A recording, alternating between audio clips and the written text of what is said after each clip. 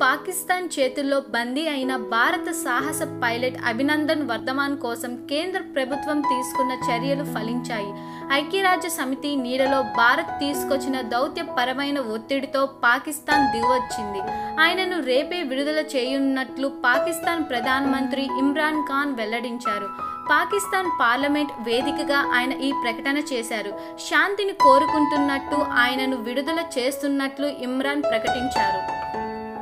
జమ్మూ కాశ్మీర్లోని సైనిక స్థావరాలపై దాడులకు ప్రయత్నించిన పాకిస్తాన్ వైమానిక దళాన్ని తిప్పికొట్టే క్రమంలో ఐఏఎఫ్కి చెందిన మిగ్ ట్వంటీ వన్ యుద్ధ విమానం ఒకటి పాక్ భూభాగంలోకి కూలిపోయింది.